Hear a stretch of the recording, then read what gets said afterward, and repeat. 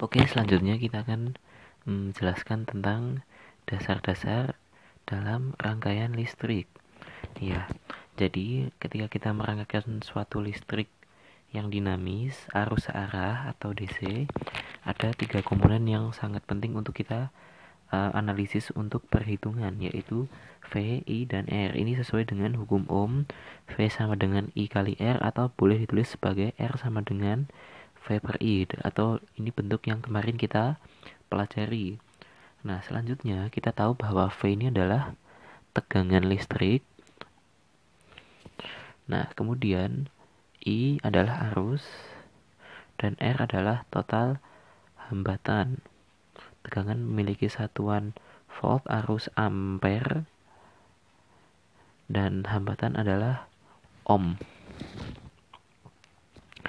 Selain itu, nanti kita akan mengenal juga istilah W dan P. W itu adalah usaha. Usaha adalah hasil kali e, antara kalau dalam fisika berupa yang gerak benda kita usaha sebagai hasil kali antara gaya dikali panjang lintasan. Kalau untuk dalam fisika listrik ini kita mengenal usaha sebagai tegangan listrik dikali dengan arus listrik dikali dengan satuan waktu. Inilah yang kita sebut usaha atau energi listrik W sama dengan Fit V kali I kali T. Satuannya adalah Joule. Kemudian uh, untuk yang selanjutnya ada P atau daya disebut sebagai power atau P. P ini satuan P ini rumusnya adalah hasil kali antara tegangan dan arus P sama dengan V kali I memiliki satuan watt. Nah, kalau kita tarik cocok logi ternyata W sama dengan V kali I tadi apa? Daya dikali satuan waktu. Nah, nanti akan akan sangat banyak variasi rumus yang bisa kita bolak-balik dari sini. Misalnya seperti ini.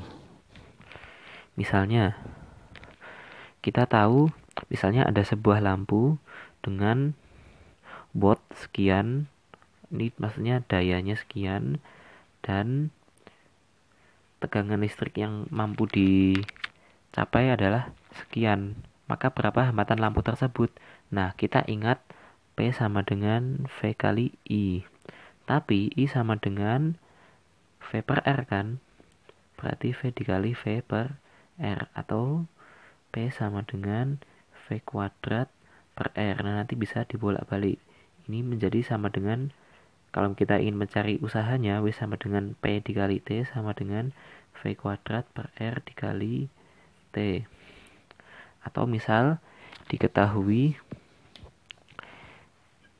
I, R, dan T, kita ingin mencari berapa usahanya, yaitu W sama dengan V. V ini apa? I dikali R. I dikali R dikali I dikali T. W sama dengan irit atau I kuadrat RT. Nah, nanti pokoknya teman-teman harus ahli dalam membolak-balikkan rumus. Kemudian selanjutnya kita akan belajar tentang jenis rangkaian. Rangkaian teman-teman pasti udah kenal di SMA, jenisnya ada yang pertama seri, yang kedua adalah paralel. Nah, kita langsung gambar aja rangkaian seri itu seperti ini. Ini sumber tegangan lalu melalui hambatan, hambatan, hambatan. Ini kita misalkan sebagai R1, R2, R3. Di sini ada kita punya tegangan listrik V tot, V total. Di sini adalah I total. Ini yang harus melewati R1 adalah I1. Ini I2, ini I3. Nah, dalam rangkaian seri yang harus kita tahu karena dia adalah segaris dan tidak bercabang, maka I totalnya sama dengan I1 sama dengan juga dengan I2 sama dengan I3. Jadi arusnya selalu sama. Ini harus diingat seri arusnya sama. dalam satu garis. Nah, sekarang misalnya rangkaian ini dibangkitkan oleh sumber tegangan baterai yang besarnya adalah V total.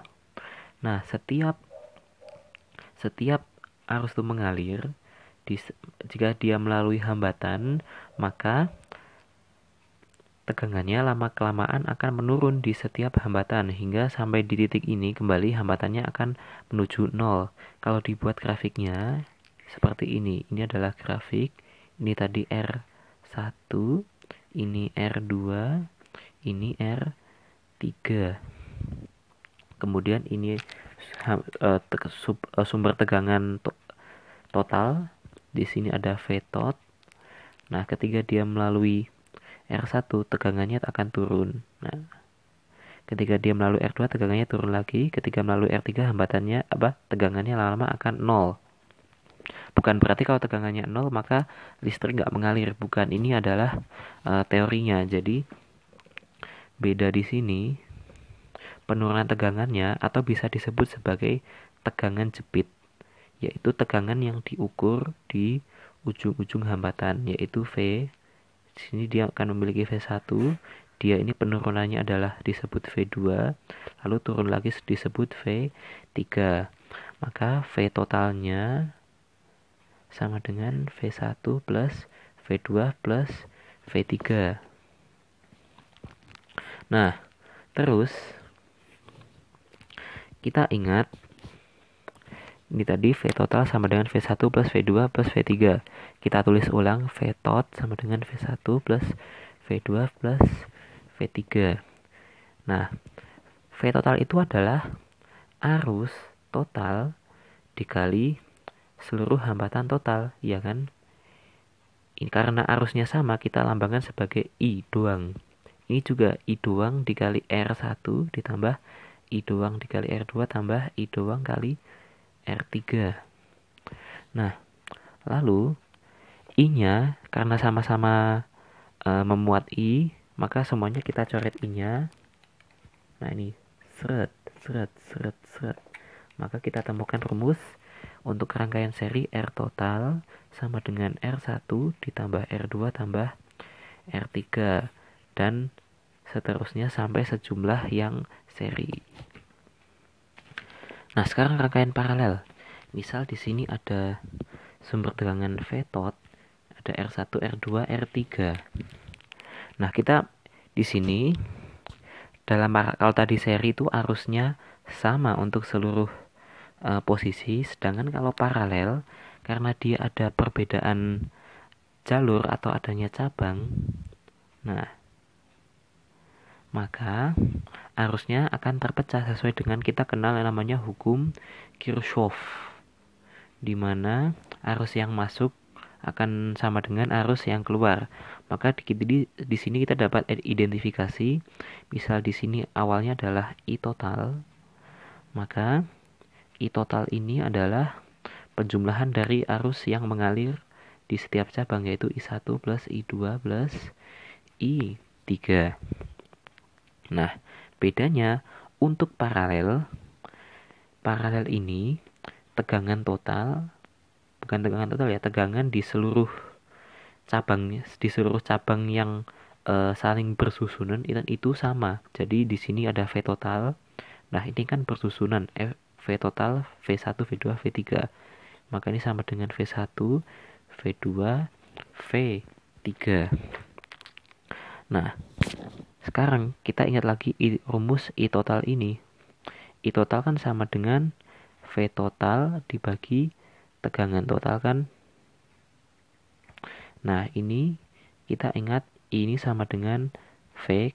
Kita sebut sebagai V karena uh, semuanya sama kita sebut sebagai V aja V I1 sama dengan V dibagi R1 I2 itu V dibagi R2 I3 V dibagi R3 nah sekarang karena di sini V tot sama dengan V V V ini kita sekarang bisa coret. Nah, ini menjadi satu satu satu satu. Lalu akhirnya ketemu rumus I eh maaf 1 per R total sama dengan 1 per R1 tambah 1 per R2 ditambah 1 per R3 dan seterusnya. Ternyata ini adalah asal mula rumus hambatan untuk paralel. Nah, selanjutnya untuk rangkaian campuran. Nah, kalau misalnya ada soal seperti ini, teman-teman jangan ketakutan dulu. Nah, sekarang kita harus analisis di tiap cabangnya ini dia ada berapa hambatan. Misalkan untuk yang seri ini tadi ada R tambah R tambah R tambah R tambah R. Misal jumlah uh, yang disusun secara seri ini ada S buah hambatan. S buah bukan bukan sebuah tapi S buah. Maka besar hambatan serinya yang ditotal adalah S kecil dikali R-nya. Lalu misal kita ingin di paralel sesuai dengan jumlah berapa cabang ya misalnya ada tiga maka seper R total adalah adalah seper S SR tambah seper SR tambah seper SR sesuai jumlah. Jadi di sini ada P. Berarti seper R total sama dengan P atau jumlah cabangnya P1, P2, P3 kalau ada 5 berarti P nya adalah 5 seper R total sama dengan P dibagi S R. Maka kalau dibalik R total dari rangkaian ini itu sama dengan jumlah berapa serinya dibagi berapa paralelnya dikali nilai hambatannya. Nah, inilah rumusnya. Oke, sekian terima kasih.